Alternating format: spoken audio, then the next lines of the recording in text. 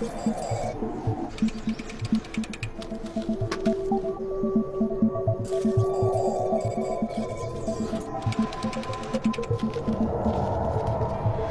where have you been? I was worried to death. I was just out walking around. Sit down.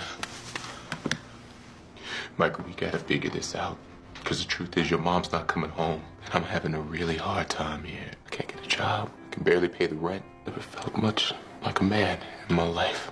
My father never taught me. I wanna be a good dad to you. But I'm gonna need your help. We gotta pull together. I'm sorry, Dad. I can try harder. Maybe this will help. Where'd you get...